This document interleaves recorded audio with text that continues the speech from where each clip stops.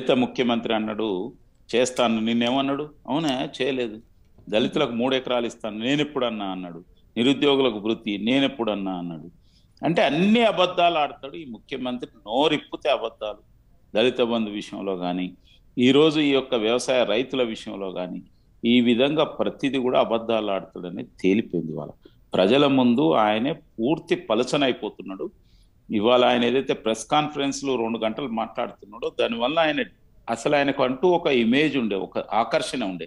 అది మొత్తం మంటలో కలిసిపోతుంది. ఆయనకి ఎవడు చెప్తున్నాడో ఏం చెప్తున్నాడో తెలియదు అంటే ఎంత ఫ్రస్ట్రేషన్ చాలా క్లియర్గా కనిపిస్తోంది. ఫ్రస్ట్రేషన్తో వరుసగా ఈయన ప్రెస్ మీట్లు పెడుతున్నారు. అందరూ అర్థం చేసుకుంటున్నారు. మీరు చూపెట్టిన రాజ్ న్యూస్ చూపెట్టిన దీని ప్రకారం అసెంబ్లీలో మాట్లాడింది అనుకుని ఇవాళ మాట్లాడుకున్న దానికి ఎంత అబద్ధాలు అనేది.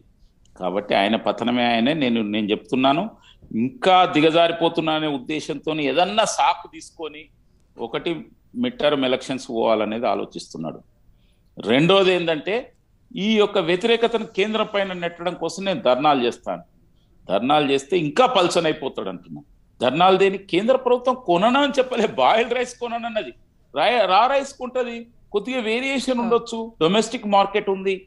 ఇక్కడ పబ్లిక్ డిస్ట్రిబ్యూషన్ ఉంది. ఇంకా ఏమన్నా మిగిలినాడు చూసుకోవచ్చు. అసలు ముందు స్టార్టే కాలేదు. నువ్వు వర్షాకాలం కొంటా బాపతి ఇంతవరకు దానికి ఏర్పాట్లు చేయలేదు. ఆరు వేల ఏడు వందల పైగా నువ్వు ఐకేపీ సెంటర్స్ కొనుగోలు కేంద్రాలు ప్రారంభిస్తావు అంటే ఇప్పటి వరకు వెయ్యి కూడా ప్రారంభించలేదు. ఇవాళ అది ఆ అడ్మినిస్ట్రేషన్ ఎక్కడ పోయింది? అసలు నువ్వు ఏం చేస్తున్నావు?